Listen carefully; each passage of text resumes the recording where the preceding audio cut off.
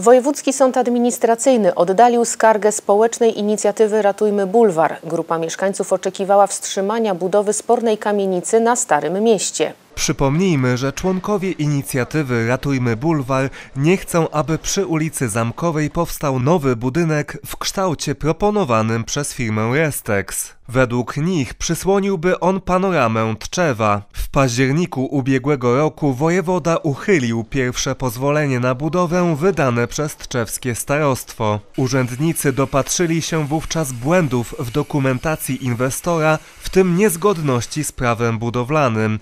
W kwietniu wojewoda utrzymał w mocy drugie pozwolenie na budowę, czego efektem było rozpoczęcie inwestycji. Członkowie grupy Ratujmy Bulwar zaskarżyli decyzję wojewody do sądu administracyjnego. Organ ten w całości oddalił ich skargę. Spodziewaliśmy się takiego obrotu sprawy.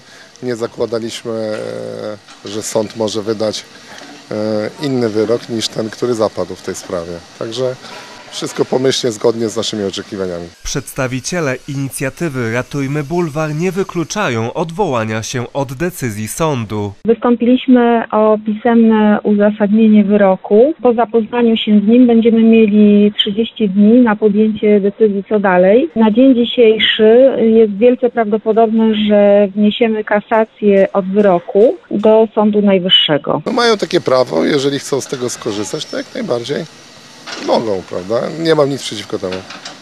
Obroniliśmy, obroniliśmy decyzję już trzy razy, także myślę, że i czwarty raz też ją obronimy. Nowa kamienica przy ulicy Zamkowej będzie oferowała około 120 mieszkań oraz punkty usługowe. Firma Restex twierdzi, że budynek nie tylko nie wpłynie negatywnie na panoramę Tczewa, ale ożywi Stare Miasto. Kiedy spodziewać się oddania budynku do, do użytku? Jesteśmy, jesteśmy na etapie zbrojenia e, stropu nad częścią podziemną, właśnie na niej stoimy. E, Wszystkie, wszystkie prace związane z betonowaniem płyty fundamentowej zostały ukończone, jak i również prace związane z żelbetowymi ścianami okalającymi budynek. E, Jeżeli nie będziemy mieli problemów z aurą, to myślę, że pracę ukończymy w przyszłym roku na jesień.